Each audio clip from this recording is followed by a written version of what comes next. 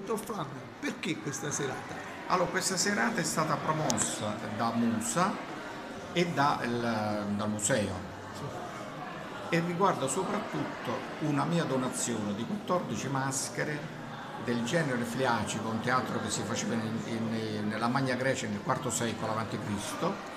È un genere di spettacolo che è poco noto e, e tra l'altro noi di questo teatro conosciamo pochissimo, conosciamo soltanto le iconografie dai vasi, cioè le, le, i, i, oltretutto chi ha dipinto i vasi erano grandissimi artisti, Asteos, Fiton, il pittore di Amicos, insomma grandi ceramografi. Questi hanno lasciato delle immagini, delle rappresentazioni del teatro fliacico come si svolgeva all'epoca. Questi non erano attori che recitavano nei teatri, recitavano nelle, nelle strade, perciò erano attori di strada, erano in poche parole i nostri antesignani eh, dei comici dell'arte.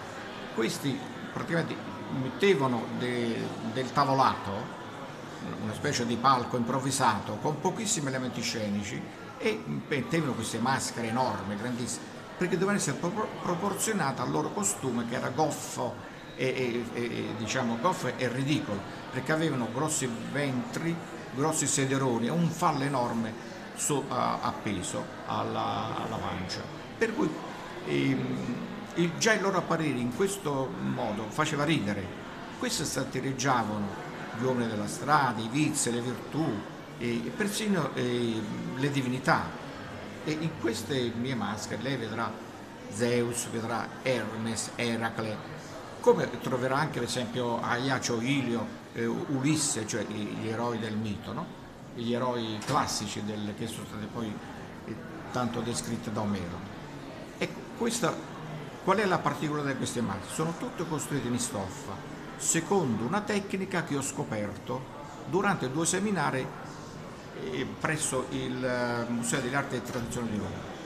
Quando ho costruito questa macchina hanno avuto un enorme successo, sono state esposte nei musei più importanti al mondo e c'è una letteratura enorme anche su, hanno scritto fior di di, di scrittori e di, di storici dell'arte. E perché a Nola eh, le ha voluto ecco, donare questa a è una Nola? bella domanda. Eh. Perché a Nola? Perché intanto si è, sta, si è instaurato un rapporto bellissimo con il gruppo di, di Musa, a iniziare dall'avvocato. Ehm, Raffaele Soprano, Soprano sì. e poi dall'architetto Barbato, il maestro eh, Vittorio Avella e, e sia con il museo. Perché?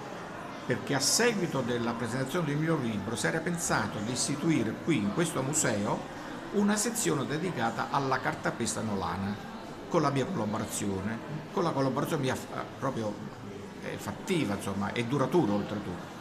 E questo progetto andrà avanti senz'altro. Allora io ho pensato di regalare queste maschere perché oltretutto uno dei principi che mi ha ispirato a donare è il fatto che probabilmente a Nola c'è stato un contatto diretto con eh, le Atellane, che è un paese come sa che sta qui vicino.